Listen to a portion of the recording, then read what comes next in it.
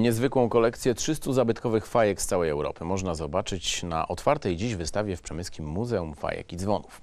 To eksponaty, które w ostatnich latach zostały podarowane placówce lub kupione do zbiorów dzięki dotacji Ministerstwa Kultury i Samorządu Województwa.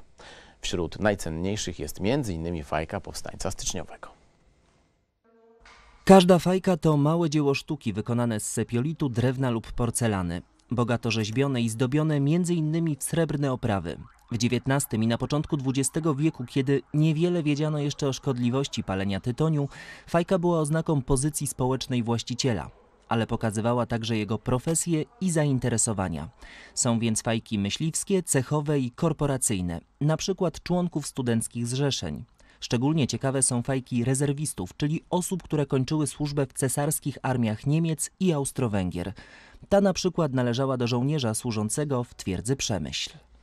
Y, Łączą się z wieloma opowieściami na tych fajkach, y, które były pamiątką z wojska, taką bardzo spektakularną.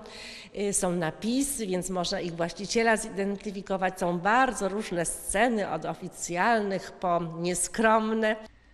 Na wystawie można zobaczyć także dwa niezwykłe eksponaty. To fajka zrobiona przez polskiego więźnia obozu koncentracyjnego w Dachau z jego numerem obozowym. Druga to pamiątka po powstańcu styczniowym, kupiona przez Przemyskie Muzeum od prywatnego kolekcjonera dzięki dotacji Ministerstwa Kultury i Dziedzictwa Narodowego. Fajka bardzo skromna, wykonana z sepiolitu. Posiada zdobienie tylko w postaci bardzo prosto amatorską, być może właśnie w domu wyrzeźbionego orła oraz daty 1863 na banderoli. Ta fajka stanowiła komplet z czapką i z szablą y, z powstania styczniowego. Niestety ktoś kupił tylko dwa pierwsze przedmioty, a fajka została. Na wystawie prezentowane są także wyroby wykonane przez najsłynniejszego przemyskiego wytwórcę fajek, Ludwika Walata. Zyskał taką sławę, że do dziś ten rodzaj fajek nazywa się walatówkami. Nowa ekspozycja jest uzupełnieniem największego w Polsce zbioru zabytkowych fajek. W Przemyskim Muzeum można ich zobaczyć ponad 900.